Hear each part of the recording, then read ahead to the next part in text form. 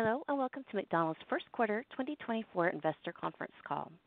At the request of McDonald's Corporation, this conference is being recorded. Following today's presentation, there will be a question-and-answer session for investors. At that time, investors only may ask a question by pressing star one on their touch-tone phone. I would now like to turn the conference over to Mr. Mike Cieplak, Investor Relations Officer for McDonald's Corporation. Mr. Cieplak, you may begin. Morning, everyone, and thank you for joining us.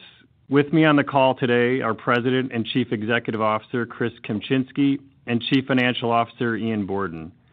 As a reminder, the forward-looking statements in our earnings release and 8-K filing also apply to our comments on the call today. Both of those documents are available on our website, as are reconciliations of any non-GAAP financial measures mentioned on today's call, along with their corresponding GAAP measures. Following prepared remarks this morning, we will take your questions. Please limit yourself to one question and reenter the queue for any additional questions. Today's conference call is being webcast and is also being recorded for replay via our website. And now I'll turn it over to Chris. Thanks, Mike, and good morning, everyone. I join you today inspired from our recent worldwide convention, a time when McDonald's comes together to celebrate the success of our system.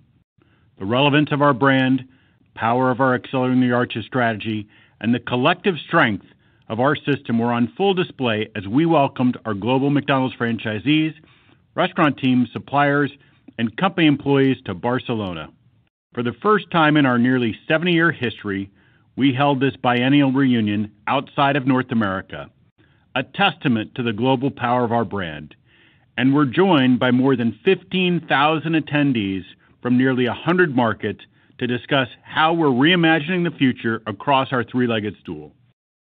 It's clear that McDonald's continues to operate from a position of strength across nearly all areas of the business as we focus on executing the day-to-day at a high level and establishing strong platforms for long-term, sustained growth. The first quarter of 2024 marks our 13th consecutive quarter of positive comparable sales growth, with 30% growth over the last four years.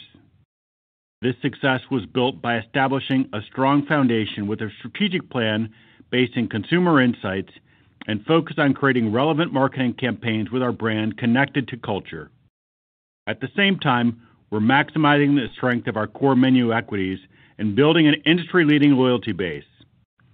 Combined with our modernized restaurant estate, strong franchisee alignment, engaged restaurant employees, and strong restaurant-level unit economics, McDonald's is well-positioned. This winning formula continues to drive results, and our customers visiting our restaurants today can easily see our commitment to providing them with a great experience, evident through our strong customer satisfaction scores. As I reflect on the first quarter of the year, it is clear that broad-based consumer pressures persist around the world. Consumers continue to be even more discriminating with every dollar that they spend as they face elevated prices in their day-to-day spending, which is putting pressure on the QSR industry. It's worth noting that in Q1, industry traffic was flat to declining in the U.S., Australia, Canada, Germany, Japan, and the U.K. And across almost all major markets, industry traffic is slowing.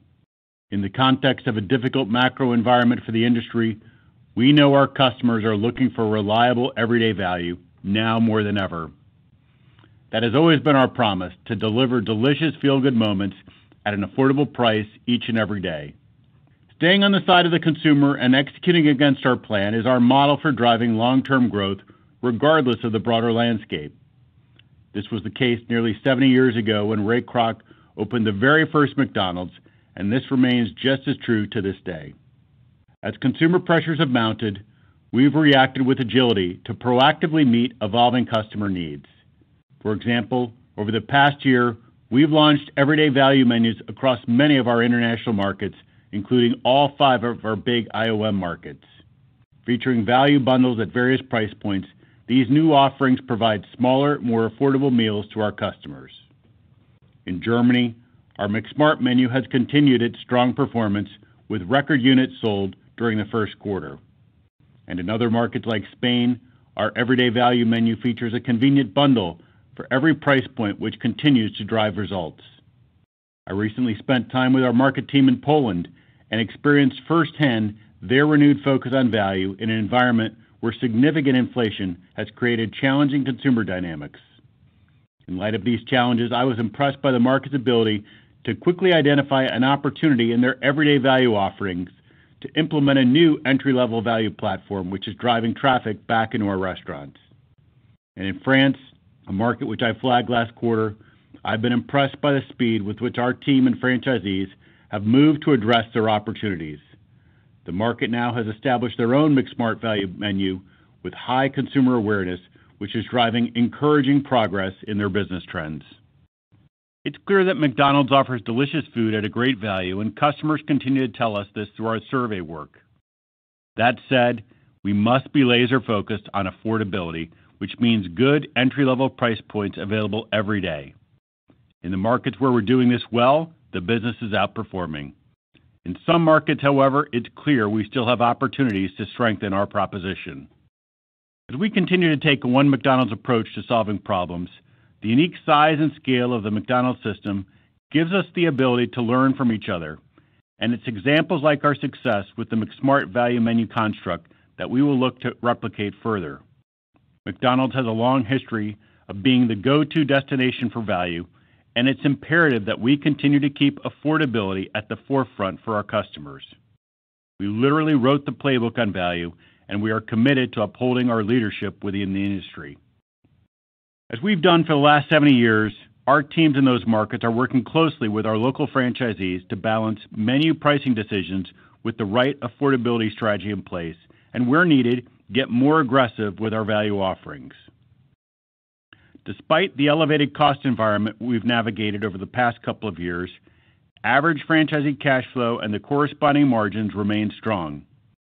And thanks to the financial strength of our restaurant P&Ls, we have the ability to invest in these traffic-driving initiatives. Despite these ongoing challenges and pressured consumer spending across our segments, we delivered global comparable sales growth of nearly 2% in the first quarter. And we continue to raise the bar on the customer experience in our restaurants with a focus on strong execution. This is driving improved service times and higher levels of customer satisfaction across our markets. In challenging times, there is significant power in focusing on what's within our control to maximize the impact of our strategic plan, offering our customers delicious food at unparalleled value and convenience. And it's exactly this approach that will continue to drive growth. McDonald's is best positioned to win in the industry because when we combine our strong system alignment with our fully modernized estate, a globally recognized brand, delicious food on our core menu, and the highest level of execution across our four Ds, no competitor can match us. As consumer spending remains pressured and macro headwinds continue, we are laser-focused on maintaining our competitive advantages and growing QSR market share. With that, I'll turn it over to Ian to talk more about our Q1 results. Thanks, and good morning, everyone. As Chris mentioned just a few minutes ago, strong execution against our strategic plan delivered global comp sales of nearly 2% for the first quarter, driven by growth across our U.S. and IOM segments. As we've said before, as customers continue to be more intentional with the dollars that they spend in a pressured economic landscape, we expect moderated top-line growth this year. In our IDL segment, positive comp sales in Japan, Europe, and Latin America were offset by the impact from the ongoing war in the Middle East. We remain proud of the way our system continues to show up for customers every day, and we continue to work closely with our DL partners to support local communities in the region. It's during times like this that I'm once again reminded of the resilience of the entire McDonald's system and our ability to deliver delicious feel-good moments to our customers in any environment, which I've seen time and again in my 30 years with McDonald's. We continued to drive a One McDonald's way approach to our creative excellence this quarter, combining local cultural relevance with global reach to engage a new generation of McDonald's fans. In more than 30 markets around the world, including the U.S., we tapped into a new global community with a truly unique brand campaign. While McDonald's has long been an enduring brand across communities, in anime, we're known as WcDonald's, a fictional restaurant we brought to life for our fans this quarter. by featuring our Chicken McNuggets alongside a new dipping sauce, theme packaging, and bonus gaming content with a mobile app purchase, we created brand excitement and lifted McNugget category sales. Our fans' passion for the McDonald's brand and for the WcDonald's universe quickly spread across social media in the U.S., with over 6 billion impressions and nearly 100,000 mentions. Our delicious burgers were also featured across many markets this quarter as we continued to showcase our strength in beef with a consistent approach to improving our fan favorites. Now deployed in over 80% of our restaurants globally, Best Burger was recently introduced in France this quarter, delivering hotter and juicier burgers. Early results were promising, with lifts across our core burger categories and improved customer satisfaction in both our taste and quality scores. And in the U.S., where we're now fully deployed across the country, we celebrated the national launch of Best Burger with an iconic character at the center of our advertising. Tapping into the nostalgia of the Hamburglar, the campaign drove a significant lift in the Big Mac category and contributed to record customer satisfaction scores in the market. The progress we've made with our core burgers highlights what McDonald's can achieve when we tap into the full power of our system size and scale. We'll continue to showcase that small changes can add up to deliver big improvements to both taste and quality by scaling Best Burger to nearly all restaurants by the end of 2026. As we look to further build on our leadership in beef, our team of chefs from around the world have created a larger, satiating burger. We'll be testing this burger in a few markets later this year, ensuring that it has universal appeal before scaling it across the globe. We also celebrated our menu in the mobile app this quarter, combining the strength of our core equities with new and exciting digital experiences for our customers. Across our top markets, digital penetration is growing, as evidenced by our increased loyalty sales and record mobile app orders, leading to greater frequency and increased spend by loyalty customers. We're also growing digital share as we leverage learnings from across markets in areas like gamification. Australia featured McDonald's world-famous fries at the center of a digital campaign and offered customers a chance to win by digitally redeeming their game pieces. Powered by a seamless digital experience, the campaign resulted in incremental customer acquisition and increased the market's loyalty sales. The U.K. market also drove strong loyalty results with the return of their Winning Sips digital experience, encouraging customers to add a drink to their order with a chance to win on every cup. Customer engagement in the mobile app increased with digitally redeemed game pieces, and we drove record growth in 90-day active users in the market. Because of unique digital experiences like Winning Sips, our loyalty members continue to engage more frequently, with nearly 75% of our total loyalty user base in the U.K. active during the last quarter. We know the experience we provide, whether through our mobile app or in our restaurants, is a significant driver of how often our customers choose to visit McDonald's. But providing our delicious food at the right price is equally critical, especially in today's environment, where consumers all over the world are paying more for everyday goods and services. As Chris mentioned a few minutes ago, a strong value proposition continued to drive results within several of our markets this quarter. This consumer-centric approach to providing our customers with compelling value at affordable price points continued to drive strong results in markets like Germany, Spain, and Poland, and led to QSR market share gains. As we remain agile to meet the needs of our customers around the world, we'll continue to use our size and scale for the greatest impact, sharing what is working to drive consistency and enable speed. Turning to the P&L, our global top-line growth drove adjusted earnings per share of $2.70 for the quarter, an increase over the prior year of about 2% in constant currencies. Adjusted operating margin for the quarter was nearly 45%. Despite the pressured consumer spending environment we've discussed this morning, top-line results generated nearly $3.5 billion of restaurant margin for the quarter, an increase of about 4% in constant currency.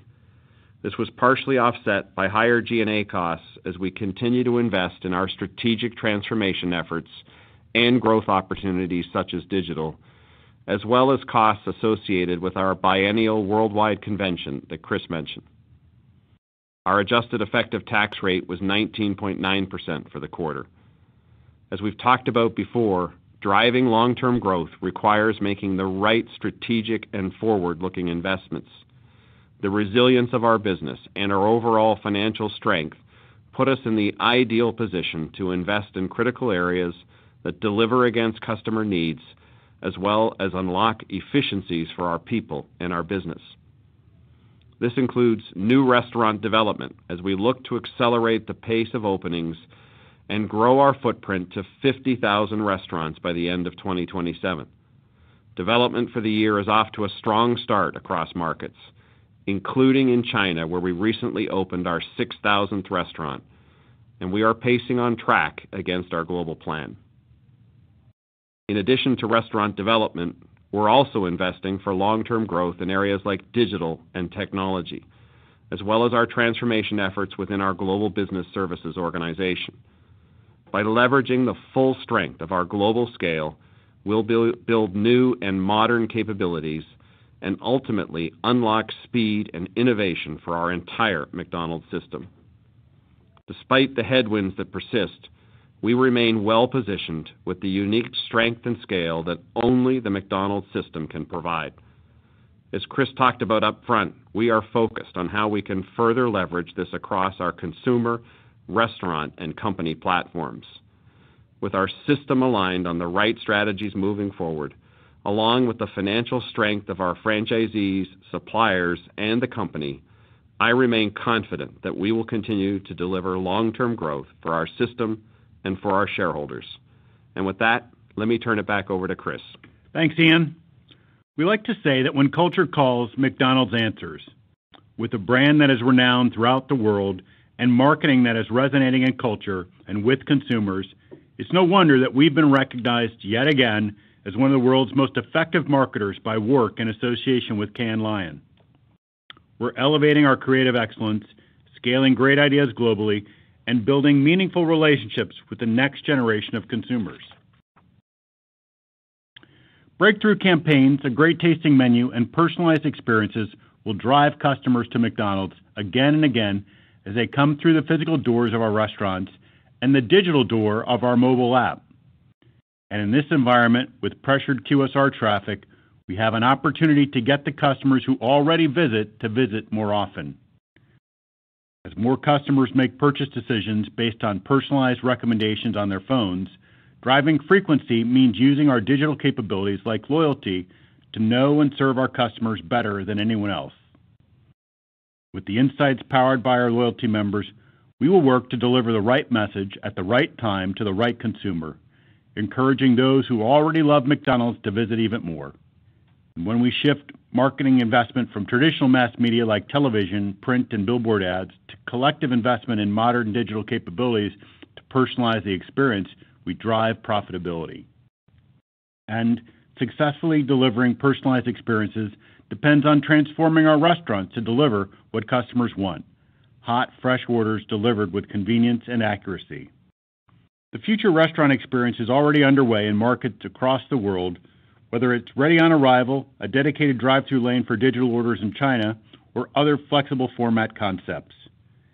And by building the technology infrastructure to support the three long-term platforms we've discussed, we will create a more reliable experience and operate more efficiently. We've talked about the ways best-in-class marketing and our iconic menu fuel the brand, but there's another component. Each and every day, our McDonald's system strives to fulfill our purpose of feeding and fostering communities locally. And there's no greater example of our decades-long dedication to driving positive impact than our work with Ronald McDonald House Charities. This year, we're celebrating the 50th anniversary of Ronald McDonald House Charities, providing essential services that remove barriers to healthcare, strengthen families, and promote healing when children need it most. Since that first house opening, the charity's global footprint has expanded significantly, and they've helped tens of millions of families through the hardest of times. With more than 385 programs running across the world, the organization is providing support for families across 90% of the world's leading pediatric hospitals and extending care through more than 2 million overnight family stays each year. Before I close, I'd also like to take a moment to recognize Rick Hernandez for his many contributions to the McDonald's system throughout his 28 years of service on our board of directors.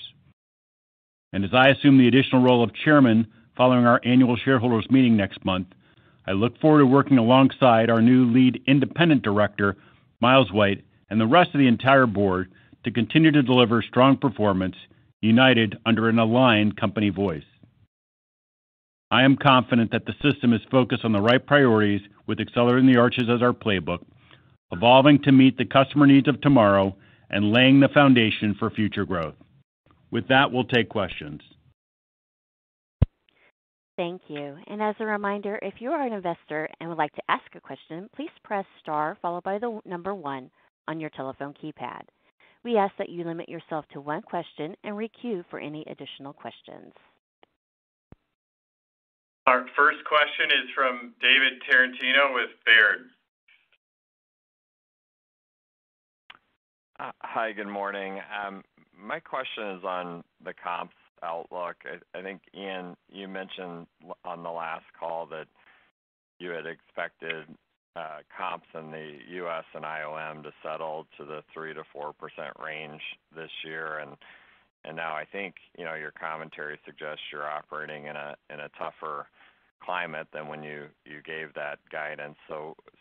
One, I wanted to ask if that, you know, that range is still in play in both of those markets, uh, in your view. And then secondly, um, you know, for the U.S. specifically, you know, do you think a more concerted or more aggressive value approach uh, is needed to get there in the current environment? Thanks.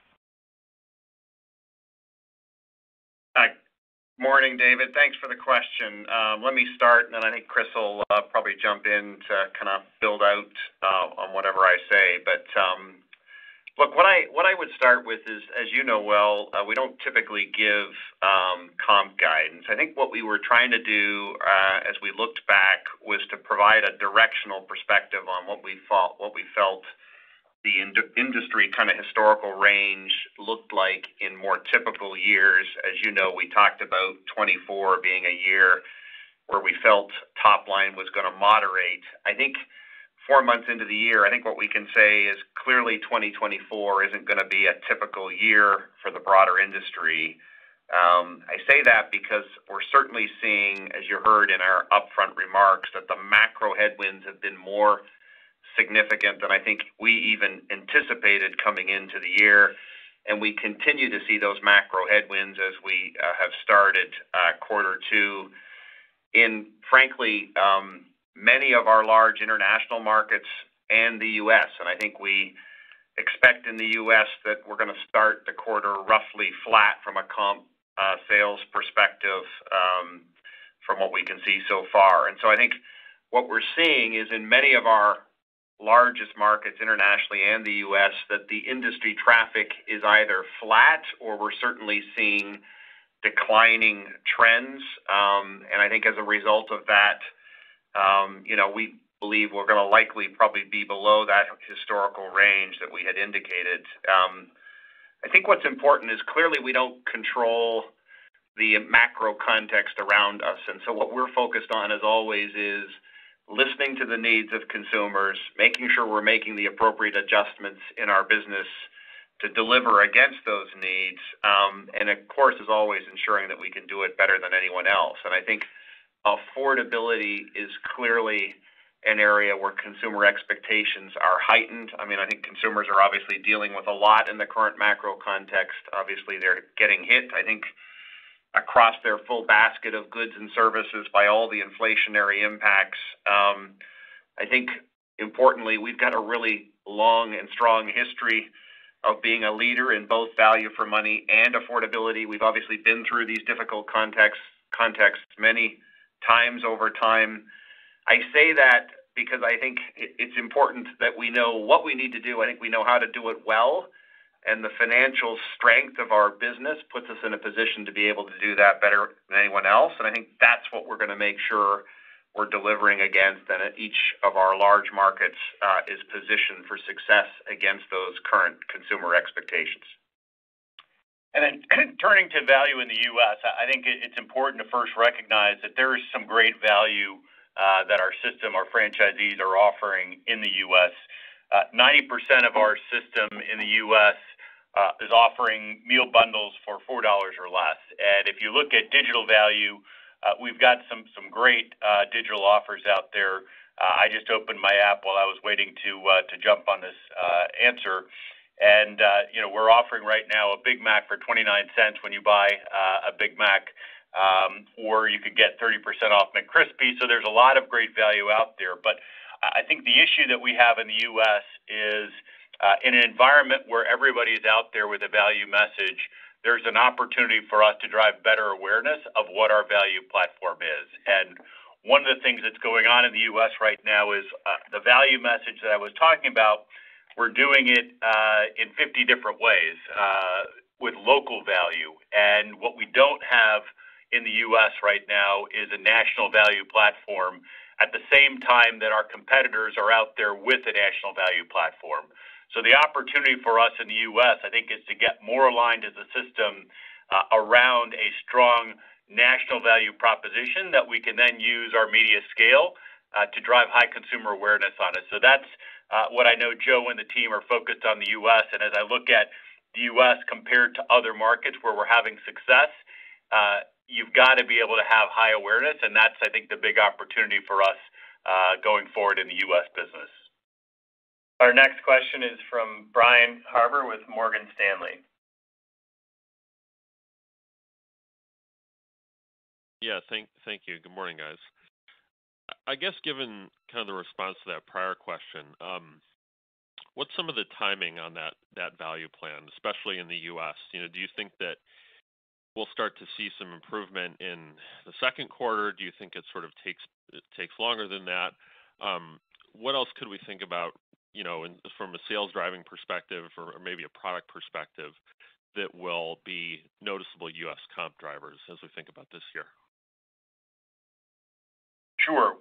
Well, I think what we've seen, if if I turn to France as an example, uh, you know, France, I was talking about, you know, last quarter, uh, as having a number of areas of opportunity. And uh, in my prepared remarks, I noted that that system in France came together very quickly around a national value program that they then put significant marketing support against, and they got to north of 80% awareness in a very short period of time. Uh, that's starting to drive encouraging uh, trends in their business results.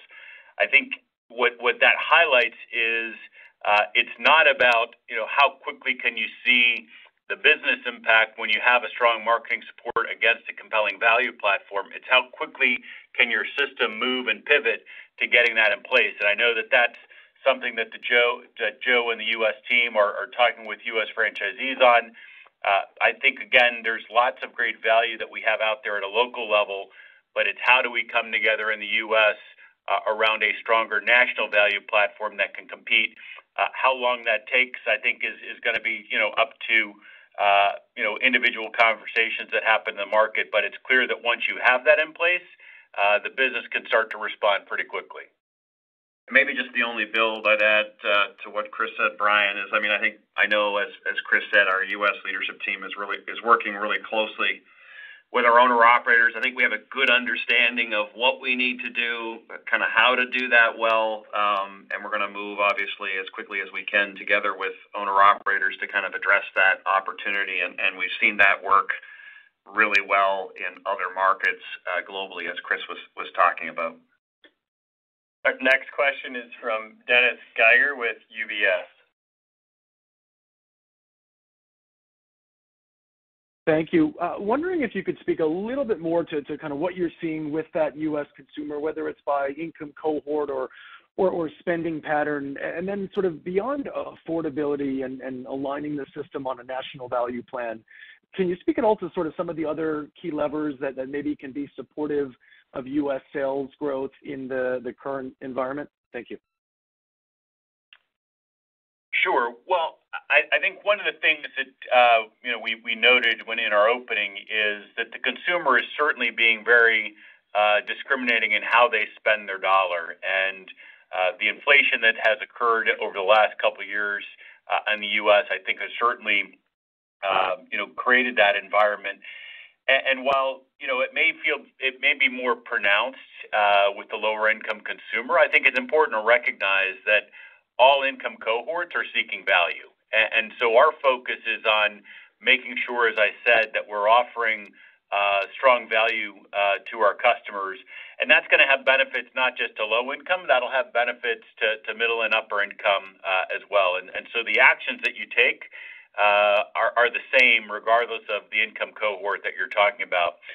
From a other sales driver standpoint, you know, on that score, I feel really good about where we're at in the U.S. Uh, as I look at uh, most importantly, how we're running our restaurants, uh, our franchisees in partnership with our U.S. team are doing a really nice job of running strong restaurant operations. We're seeing improvements in speed of service. We're seeing the turnover in our restaurants is down. All of those things in combination are improving customer satisfaction. We're seeing Uh, our satisfaction scores increase in the U.S. Uh, and then we will, of course, have uh, menu innovation that happens throughout the year. It's part of what we do. I'm not gonna get into detailing exactly what the menu innovation is gonna be and when it comes, but certainly you can expect that we will use menu innovation as well to find ways to engage our customers. And lastly, I would just point out, um, we always have to be finding ways Uh, to be driving consumer interest around great marketing plans. And uh if we're doing great marketing, you can grow uh, the business just with your core menu. And and so I know the U.S. team, along with our agency in the U.S., uh, Wieden+Kennedy, they're continuing to look for what's the next big idea that we have from a marketing standpoint to drive the business. So multiple levers at our disposal. Dennis, maybe I'll just build on what Chris was saying because I think it's such an important point. I mean, our the foundation of our business, the vast majority of our business is in an incredibly strong position. I mean, I think we come into this more challenged macro environment kind of in an advantaged position. And I think the emphasis with that be would be we have a fully modernized estate, as Chris kind of referred to. We've got, I think, a marketing and brand Um, engine that's best in class, meaning I think the team continues to deliver great creative execution. I think that's resonating with customers in culturally relevant ways. We've got our system financial strength, um, that's, um, you know, at one of its strongest points in our history. So we've got the ability to kind of lean into opportunities together because of all the work we've done over the last couple of years. And then if you think of our three Ds of delivery, drive-thru, and digital, um, we have a leadership position in each of those areas. We're continuing to invest to drive growth in those areas. Delivery, for example, the U.S. business kind of hit all-time highs in the first quarter. Delivery uh, sorry, digital, as you know, um, we've made a lot of progress in, um, and we know we continue to drive growth in digital more broadly. I think we feel really good about the vast majority of our business. We just know the consumer is looking for more on affordability uh, and value, and we're gonna lean in and make sure uh, we can meet those needs. Our next question is from John Ivankoe with JPMorgan. Um, hi. Thank you. Uh, I was wondering what kind of opportunity or maybe need that we have to address core menu pricing in the U.S. And you know, I speak, you know, specifically, you know, about things like, you know, Quarter Pounder combo pricing, uh, or, you know, Big Mac combo pricing that can actually be very different across the restaurant, you know, base, even within a given market. And, you know, obviously the press, you know, will, you know, communicate some of the highest pricing in certain stores as, you know, talk about what the direction of pricing has happened to McDonald's across the country, even if it is just certain stores. Is there, um, you know, a need or an opportunity to kind of get back and, you know, communicate around, you know, core menu pricing, you know, to kind of give the perception of value for consumers that maybe even are outside of, you know, the value menus of what we did pre-COVID? Thank you. Sure. Well, let me start with, I think it's important to recognize that if you look at margins in the U.S. today, restaurant-level margins for franchisees versus where we were in 2019, uh, we've just now rebuilt franchise restaurant-level margins back to where we were in 2019.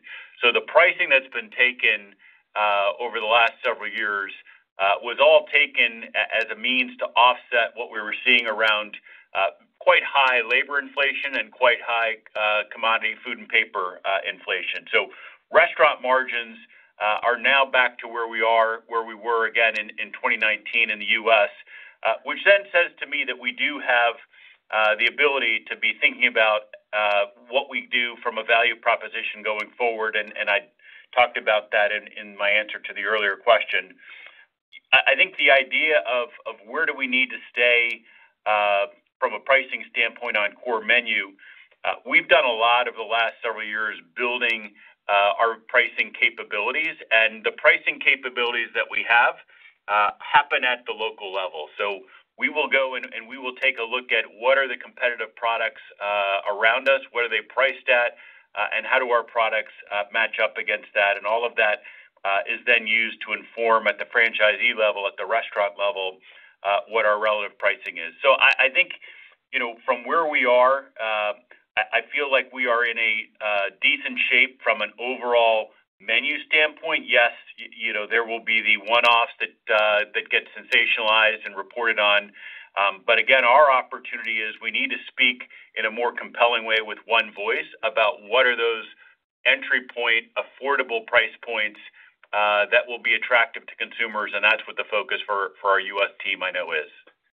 Maybe, John, I'll just build a little bit on um, what Chris talked to, um, 'cause I think, you know, maybe the way to think about it is what do we think good looks like in getting value and affordability right. Um, and I would I think we would say it's a couple of things. It's making sure, as Chris said, we've got those entry-level items at affordable price points for people, uh, for consumers. Uh, it's making sure that we've got an entry-level meal bundle that's at an affordable, compelling, affordable price point, and doing that generally with products that consumers know and that we've we've got strong equity behind. And then I think if breakfast is a big part of our business, like it certainly is in the U.S., making sure we've got compelling value at breakfast as well. Um, and I think obviously from an executional standpoint, we've got to make sure we've got the right products at the right price, and we've got, as as you've heard Chris talk about, that consumer awareness at a level of significance so that consumers are aware of the offers and the affordability price points,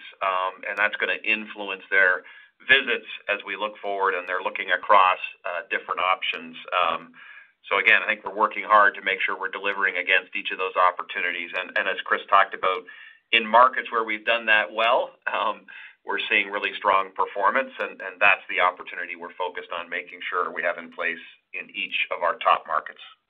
Our next question is from David Palmer with Evercore. Thank um, you. You noted the customer satisfaction scores uh, had been heading higher, and that definitely doesn't surprise me given all the improvements to the restaurants and digital and the core food renovations. I guess what does surprise me is that the gap to the industry, at least in the U.S., has eroded and that that outperformance gap. I I wonder, you know, whether it's the surveys or certain consumer trends as you as you slice it thin, even day parts, you know, what are the insights about why that gap has narrowed, Uh, be- because it has been surprising. Is it just an an entry price point opportunity in the value scores that you're seeing with certain income cohorts? And how does the opportunity for the U.S. differ from maybe some of your other international big five markets? Thank you. Sure. I think on our overall satisfaction, uh, again, we look and, you know, we're seeing improvement uh, across all of our major markets on satisfaction. And as you noted, there's multiple aspects to that. I think where we see Uh, the one opportunity, uh, as you sort of then decompose drivers of satisfaction, uh, certainly in some markets, we have seen that our relative superiority on affordability has declined. Uh and I think if there's any pressure on overall satisfaction or if there's anything that's closing it, um it's probably losing some of that, relative superiority Uh, on affordability. Uh, again, that's not in all markets, but that's in a few markets. Uh, it's important to still note we still are viewed as a superior value proposition, but the degree of gap in a few markets has narrowed. And so that leads back to all the things that we've been talking about on this call as things that we need to be focused on. David, just maybe to build, because I think experience, as you noted, um, is encompassing of a number of different factors. I mean, I think Um, we know we're driving better speed of execution consistently across our top markets. We know when we put capabilities in place, as you've heard us talk about previously, like Ready on Arrival, which is in place in the U.S., that we're delivering hotter, fresher food as customers arrive to our restaurants and delivering an overall better experience. I think the sharp point, and Chris mentioned this, is just we've got that opportunity on affordability, um, and we're really laser focused on making sure we can meet the need that consumers are expressing in the current context. Uh, but we feel really good about all the other aspects of the experience and how we're delivering against what customers are expecting. Our next question is from Eric Gonzalez with KeyBanc. Hi, uh, good morning. Hi, good morning, and thanks for the question. Morning. Um, on the pricing discussion, I and I appreciate the point that your store-level margins are back to 2019 levels, but perhaps you could speak to the current level of year-over-year pricing and your current inflation expectations for food and labor this year. And then just maybe whether you've seen any changes in the flow-through of that pricing or any elasticity uh, changes. Sure. Well, my guess is your question's focused on the U.S. because obviously I could give a different answer depending on where you are in the world. But if if I focus just on Uh, the U.S., most of the pricing that you see now in the U.S. is carryover pricing.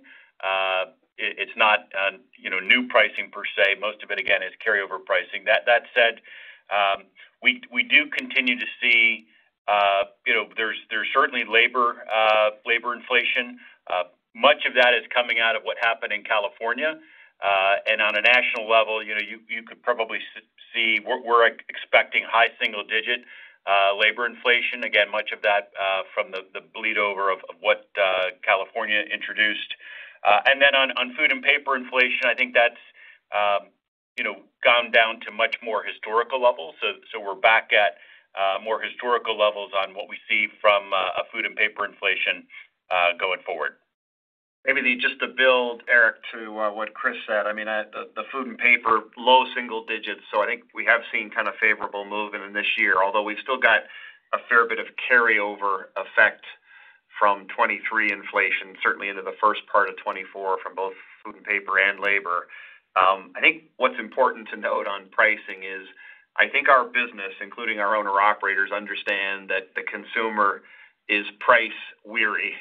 Um, I think we certainly are gonna be prudent and thoughtful about any further price increases that we're looking at for uh, the rest of 2024 on that backdrop. Um, and, uh, you know, keep working on the opportunity that we've talked about a fair bit already on the affordability, um, and getting that in place to kind of address the consumer need. Our next question is from Sara Senatore with Bank of America. Oh, thank you. Uh, I guess I have one clarification and then a question. Um, you mentioned that the QSR industry traffic is flat to declining. I guess I always think of this as an industry where traffic is kind of at best flat. So I'm just trying to um, understand, you know, given you usually have better data than I do, whether that's an inflection point or this, uh, the sort of traffic trends have been more consistent, which is what it sort of sounds like. Um, the question I have is, you mentioned, you know, margins are right back to where they are. I think franchisee cash flow is also back to pre-COVID, um, not COVID peaks. But I guess as you think about maybe investing in value, eh, do you um, contemplate you doing anything to support franchisees? I don't know if it's sort of fee abatements like digital fees or, you know, we've seen some other restaurants kind of pull back on those when franchisees are making, you know, investments, whether they be, you know, capital investments or um, in other operating expenses. So just as, you know, is supporting franchisees uh, something that you can do if you really need to reinvest in value? Thanks. Morning, Sara. It's Ian. Uh, let me take the clarification, and then I'll let uh, Chris address your question. Um, So what I said earlier was that um, industry traffic, and I was talking about across many of our top markets, is flat, uh, or we're seeing declining trends. If I talked specifically about the U.S. in quarter one, industry comparable traffic was negative, um, and we expect it to be negative for the full year. And I think that's uh, the context that's important, uh, just to give the context to the more challenging macro environment. Yeah. And then uh, you know, turning to uh, to franchisee and your question about uh, you know, how we support franchisees, you're right that our U.S. franchisees and I could you know, go through other markets as well, but um, they're in a strong position.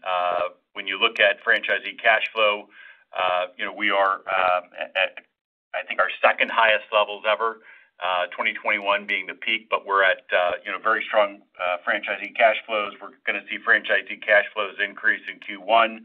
Uh and if you think about the balance sheet for our franchisees, the modernization that we did on our restaurants in the U.S. many years ago now was all done in a period of super low interest rates. And so you know, any debt that's being carried on on the books for our franchisees Uh, is at uh, know, significantly lower interest rates than what we're seeing uh, in the market right now. And and so our franchisees are in a strong position.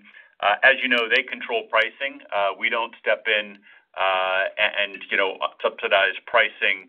Um but I think the opportunity here is what I mentioned earlier. We have a lot of great value out there in the market. We're just doing it in a very fragmented way.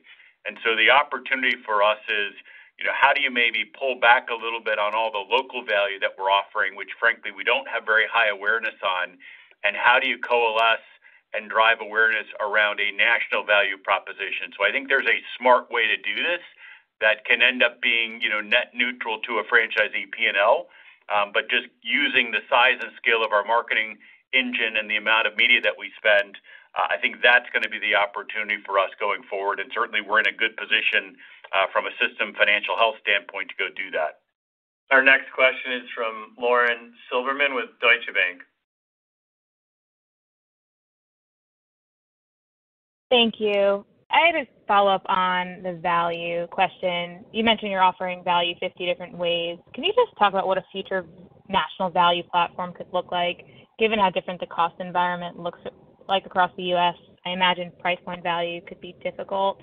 And then when you look at what type of value consumers are most looking for, is it price point, lower entry points, bundle deals? Are you seeing an uptick in the value mix? Um, thanks.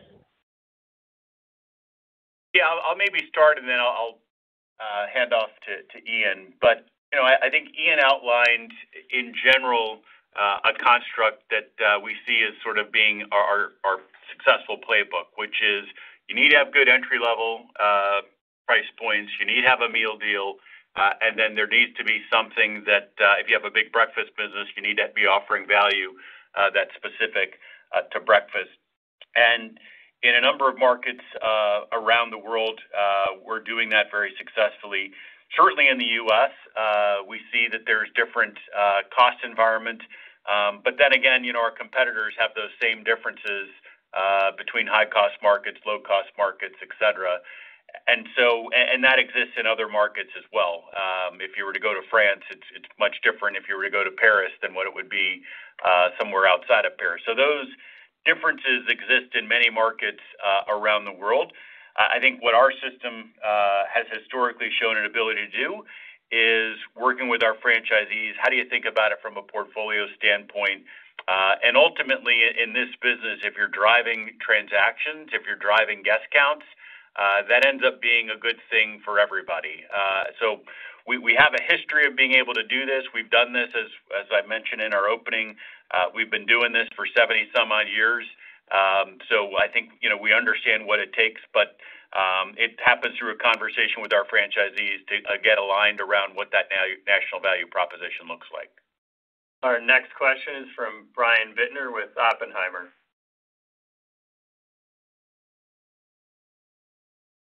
Thanks. Good morning.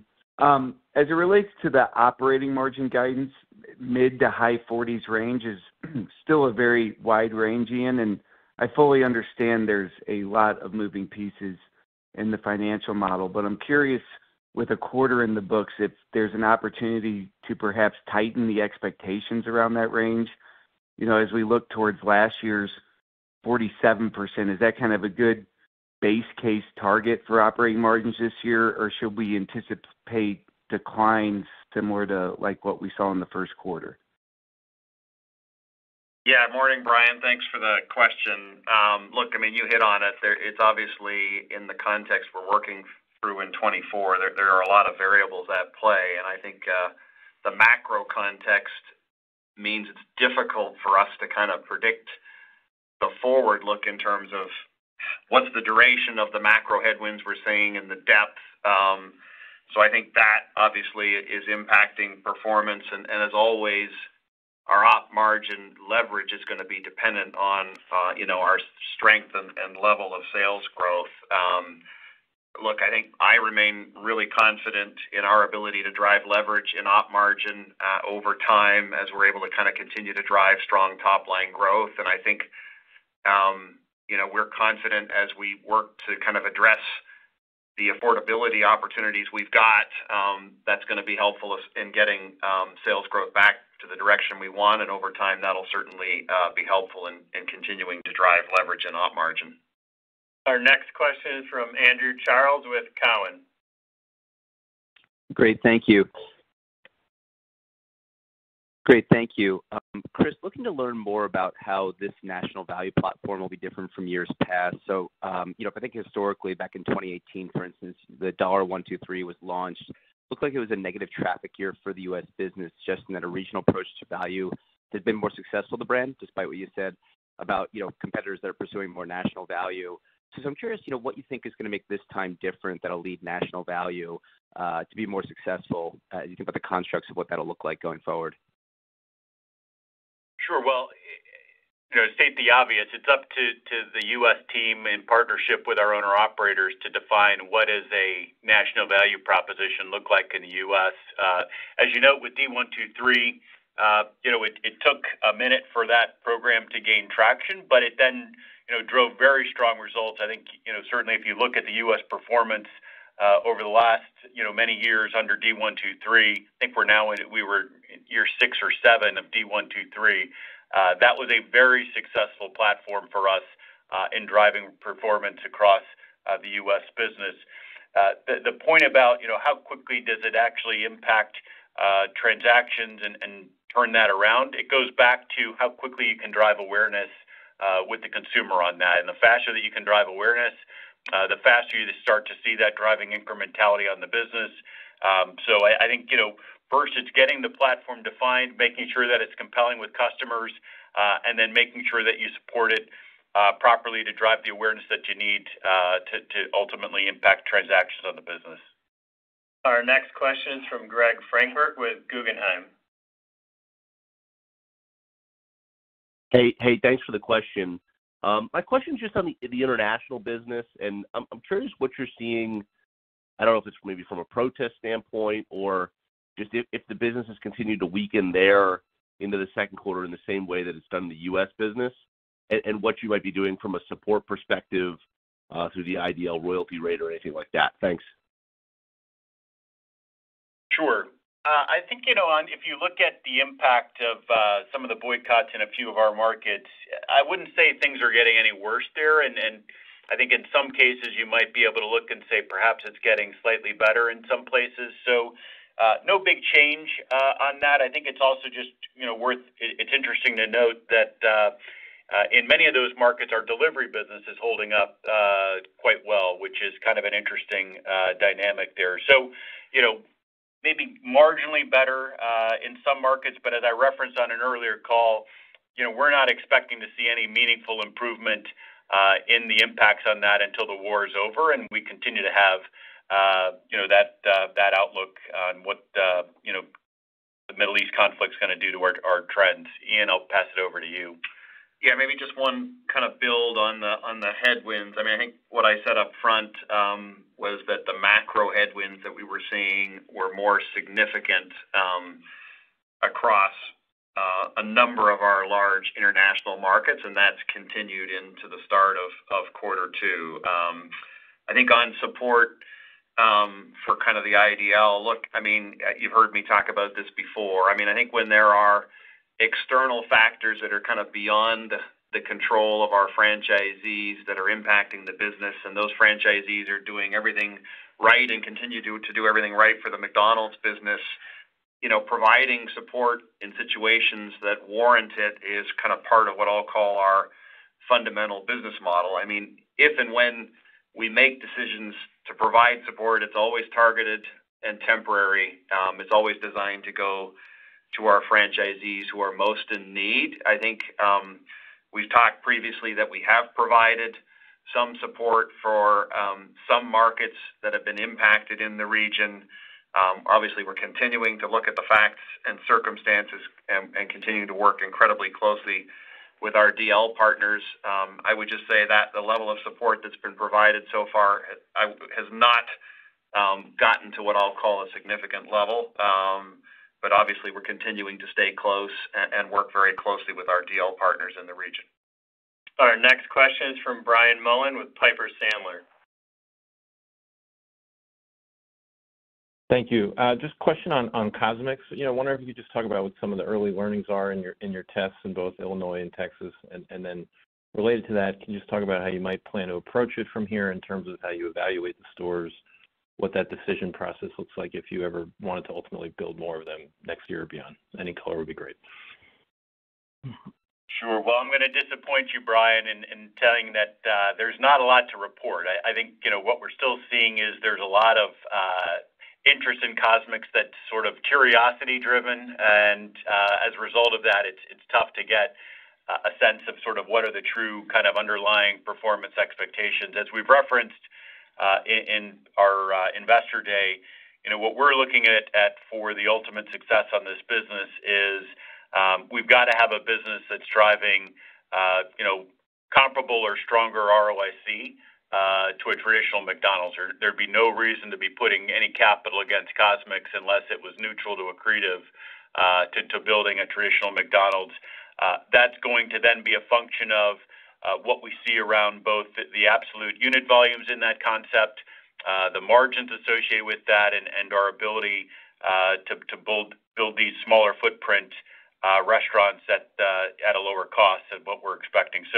All of those things are things that we're gonna be assessing uh, in our test market. As I've referenced previously, we plan on opening 10 restaurants, and it'll be a function of unit volumes, it'll be a function of margins, and it'll be a function of what the capital that we need to spend uh, to get these things built. All of that will drive, uh, you know, our overall assessment of what the ROIC potential is. We have time for one more question from Jeffrey Bernstein with Barclays. Great. Thank you very much. Uh, just following up on the U.S. comps. I know you guys have mentioned the lower income households and the weakness seen there and maybe some trading into food at home. Just wondering if you can maybe compare that to past slowdowns. I feel like the message has always been the benefit of the quick service segment. Maybe you lose some on the low end, but importantly, you inherit some who trade down from above, like you said, if everyone's looking for value.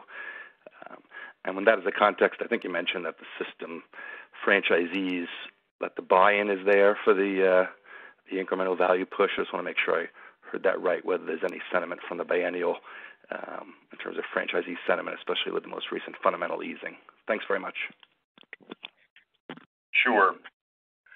Well, uh, uh, so I think, you know, it's tough to go back and compare the data today versus our last time that there was an economic slowdown. I think the dynamic that you described is what we do typically see in the business.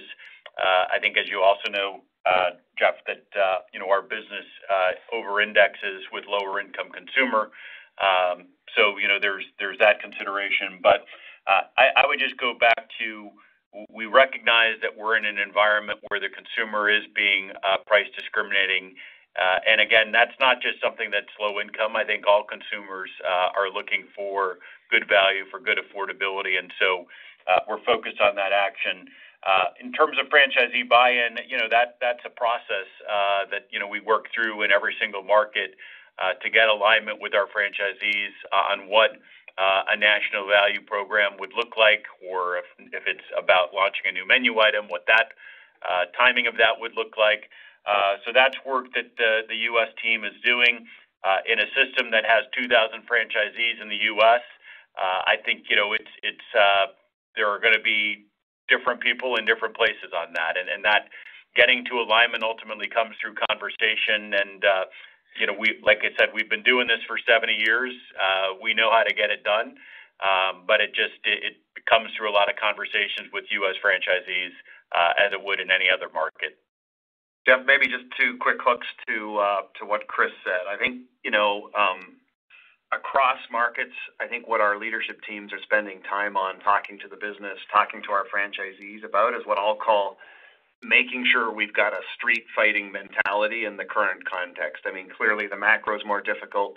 Clearly, everybody's fighting for fewer consumers or consumers that are certainly visiting uh, less frequently, and we've got to make sure we've got that street fighting mentality to win irregardless of the context around us. And as I think we've talked a lot today about our position, our system is positioned with the strength and capability. There's no reason why we shouldn't have the most compelling value and affordability positioning from the focus of a consumer.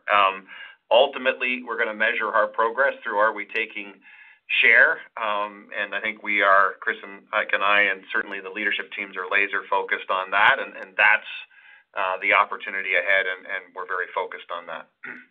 Okay, that concludes our call today. Thank you, Chris. Thanks, Ian. Thank you everyone for joining. Have a great day.